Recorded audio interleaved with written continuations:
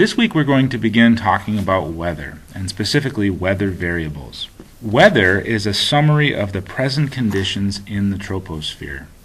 And if, in case you haven't thought about the troposphere in a while, it's the layer of the atmosphere where we live. And this is where weather happens. On page 14 of your reference table, we can see some information about the troposphere. To begin, the altitude of the troposphere is from zero, which is sea level, up to about 12 kilometers or about 8 miles above sea level. And the temperature is going to decrease steadily throughout the troposphere. The air pressure, which is also known as atmospheric pressure, decreases steadily throughout the troposphere. And water vapor concentration also decreases as you increase altitude in the troposphere. The composition of the troposphere is 21% oxygen, about 78% of it is nitrogen, and that leaves about 1% for everything else. About 93% of that 1% that's left is made up of a gas called argon which means that 0.035% is all that's left for everything else in the atmosphere. Um, an air mass is the term we use to describe a chunk of the troposphere that has fairly uniform characteristics. Air masses get these characteristics from the land or water over which they form. In our reference table, we actually identify five different types of air masses. So a lowercase c means continental, and that's an air mass that formed over land, and that's going to be a dry air mass. A lowercase m, which means maritime, which means an, an air mass that formed over water, and that's a wet air mass. So notice that each of these air masses has either a lowercase c or a lowercase m to determine whether it is dry or a wet air mass.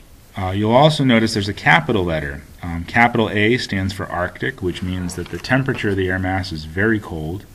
A capital P, which means polar, which means that the temperature is cold. And a capital T, which means that the air mass formed in a tropical region and it's going to be a warm air mass.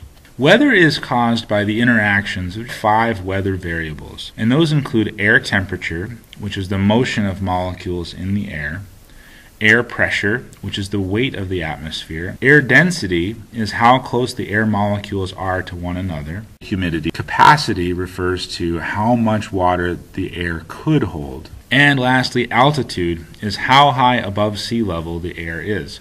So if we change any combination of those five weather variables, that's what causes a change in the weather. To make it more familiar, let's consider these variables as if they were personified characters. So this is Arnold the air mass, and he is a chunk of troposphere who travels around the earth making new friends wherever he goes, but his friends don't all get along. His first friend is Tommy Temperature. Arnold goes to find Tommy above the warm parts of the earth, like a dark rough surface that receives lots of high intensity insolation. Polly Pressure in, and Tommy temperature don't get along. Polly does the opposite of whatever Tommy does. Polly puts high pressure on Arnold whenever Tommy leaves. So what we're really saying there is if the temperature goes down, the air pressure tends to go up and vice versa. Arnold's third friend is Danny Density. Danny and Polly are very close friends. Whatever Polly does, Danny does. If Arnold's under high pressure, his density also increases. Hugh Humidity and Tommy are very close friends. Whatever Tommy Temperature does, Hugh Humidity does too. But Hugh is kind of shy. He lets Tommy interact with Arnold first.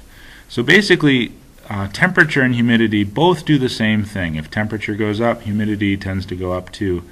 Um, however, sometimes there's a time lag between when the temperature goes up and when you notice the humidity going up. And lastly, we have King Albert altitude. And the reason that he's the king is that when King Albert comes around, all bets are off. Tommy, temperature, Polly, pressure, Hugh, humidity, and Danny, density run away and do the opposite of what King Albert does.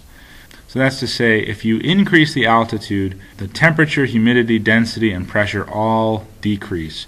So here is our weather variables summary. Temperature and humidity go together. Whatever one does, so does the other. So if you increase temperature, the humidity also increases. Pressure and density go together. Whatever one does, so does the other. So if you increase air pressure, the air density also goes up.